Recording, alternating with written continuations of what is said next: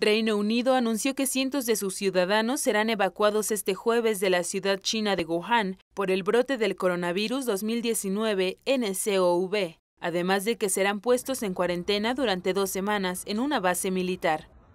El gobierno del Reino Unido planea repatriar a 200 ciudadanos británicos desde Wuhan, el centro del nuevo brote de coronavirus. El secretario de Salud, Matt Hancock, indicó que dio instrucciones a los funcionarios para ponerlos en cuarentena durante dos semanas, posiblemente en una base militar.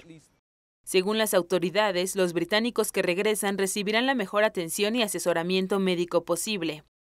En tanto, British Airways, que opera vuelos diarios a Shanghái y Beijing desde Heathrow, anunció este miércoles la suspensión de vuelos hacia y desde China continental, con efecto inmediato hasta el 31 de enero, mientras evalúa la situación.